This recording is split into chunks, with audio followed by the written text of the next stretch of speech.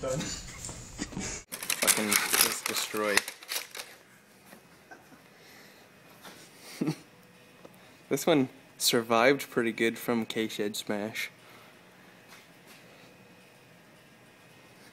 This one's got some massive screen damage and uh, yeah, pretty much no keys left. Can't even see the RAM.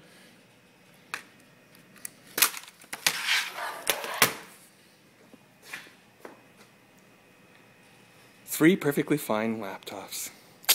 Shame.